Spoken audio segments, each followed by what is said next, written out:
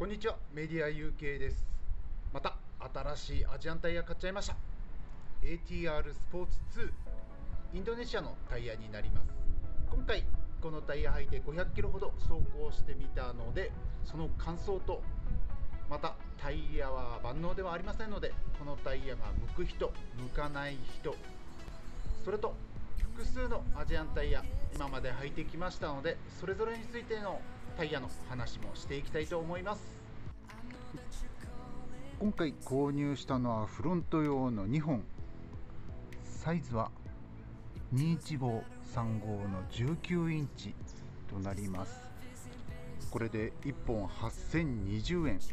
しかもオートウェイの楽天市場店ではクーポンが出てたので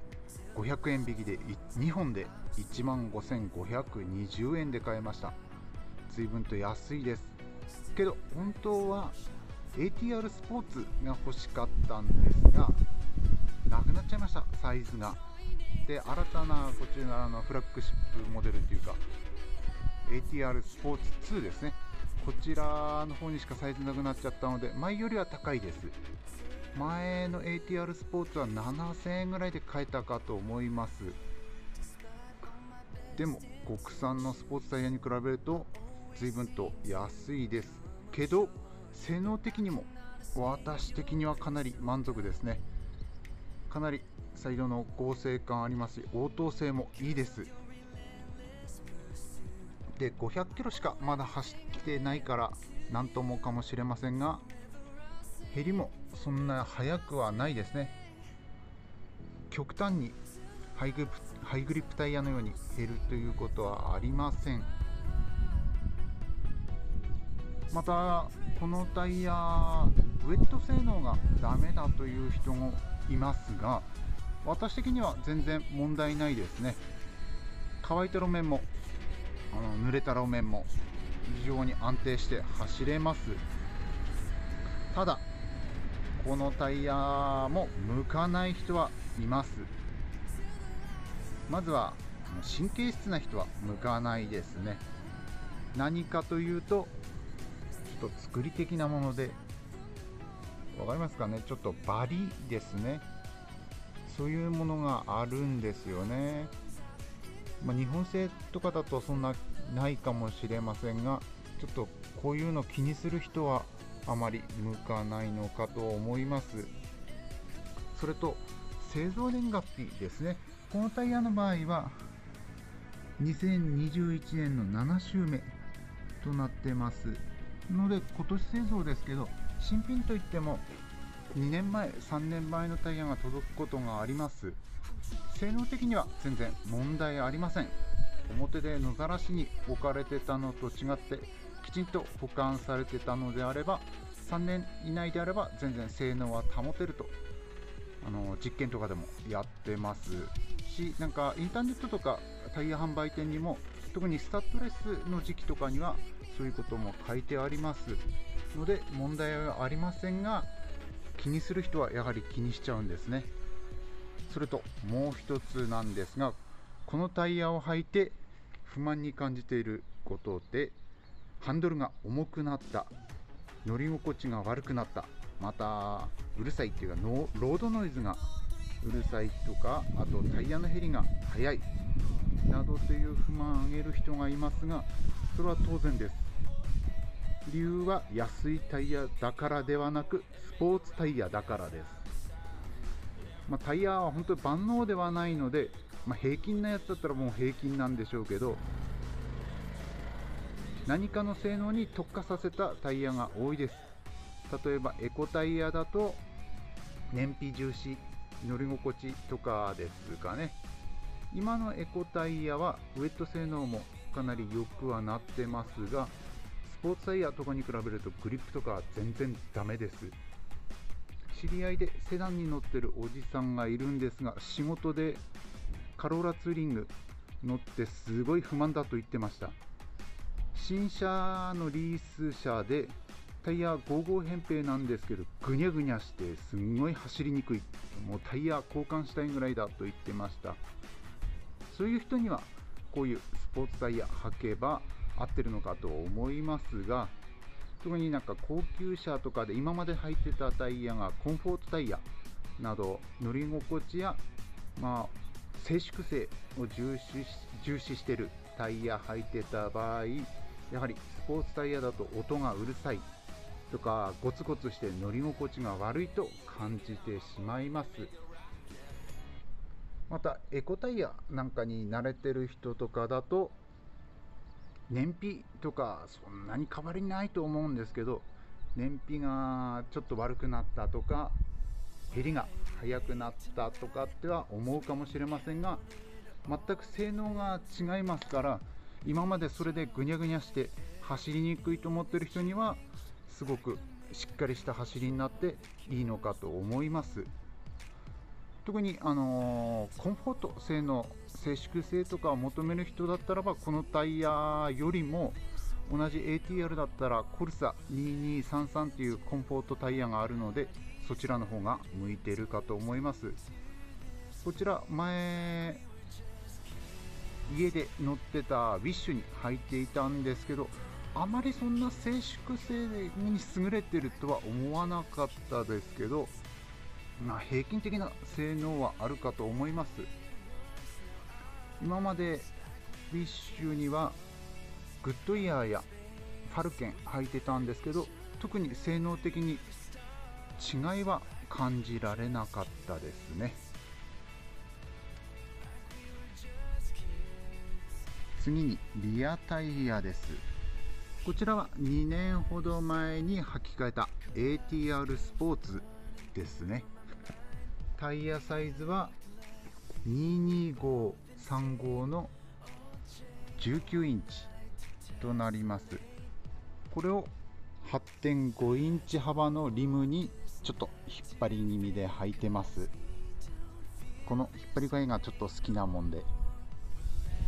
このタイヤですけど以前は車買った時に新品で付けてくれた中華メーカーフルランっていうところのフルウェイ HP180 っていうタイヤ履いてたんですがこのタイヤかなりびっくりでしたね。8年近く履いたんですがもう年数経ってサイドとかひび割れ結構ひどいことになってたんですがタイヤの溝たっぷり残ってました。減りませんなかなか。それがどういうことかというと全く食いつきません。信号から青になった時あの雨の日なんかだと軽くホイールスピンしちゃいます。それに乾いた路面でもそんな熱い走りしてるわけではないんですがブレーキ踏むとすぐ ABS が作動しちゃったり性能的にはあんまりという良くないという感じでしたね。ただどの車に履いても同じではないとは思います。安いタイヤとりあえず安さを求める人には合ってるのかと思いますがこの車の場合ピックアップトラックなのでそれも FR です。サスペンションがリーフスプリングなんですよね。そのため荷物を積んでいないと後ろが軽く、あのー、トラクションがかかりません。そのためフルウェイだと全然なんか走りがダメだったんですね。でフルウェイタイヤサイズは235だったんで ATR に変えて225なんで細くはなってるんですが、まあ、全然違いましたね。こちらだとしっかり食いついてくれて安心して走れます。雨の日の性能でも全く、あのー、不満はありません、はい、またフロントに戻りますけどこちらも8インチ幅のリムに引っ張ってあるんであちょっと引っ張りになってますね。フロントは買った時は難関の NS2 がついてたんですよね。新品ではなかったですけど。で交換する時にまた難関の NS2 買おうかと思ったんですがちょっと友人からの勧めでこの ATR にしました。サーキットを走ってる友人なんですが普段街乗りで履いてるのにこの ATR を使ってるということで性能的にも全然いいよということでしかも安いよということでしたね。サイズ今の値段で調べてみますと難関 NS2 だと1万超えちゃいます。1万ちょっとぐらいなんですけど ATR と1本あたり2000円の価格差ですね。性能的には NS2 はもうバッチリあの問題ありませんっていうか本当日本製タイヤと変わらないような性能の良さです、まあ、ATR も劣ってるとも思わないんで私は ATR で十分かなと思います。でもやっぱ価格なんですよね。例えばこのサイズで言えばさっき後ろで説明したフルウェイ。同じ21535の19インチで6100円という値段で買えます。だリアと違ってフロントだとまた違うのかなとも思いますが一度 ATR スポーツ履いちゃうともうフルランはあフルウェイは履く気は起きませんね。はいいろいろ喋ってきましたが結論で言いますとアジアンタイヤ非常にいいですね。今や欧州車の純正タイヤにも採用されているくらいなんで性能的に悪いということはないです自分に合ったタイヤを選べばですけどね。しっかり買う時は値段だけじゃなくどういうタイヤなのかっていうのを見て買うようにしましょう。静粛性を求めるのにスポーツタイヤを買うとかだと絶対不満は出ちゃいますんで。なので私的にはちょっとダメだと思ったフルウェイなんですけどこれも経済的なタイヤを求める人には合ってるのかと思います。価格安いですし長持ちするということでそういうのをタイヤ求める人には合ってるタイヤだと思います。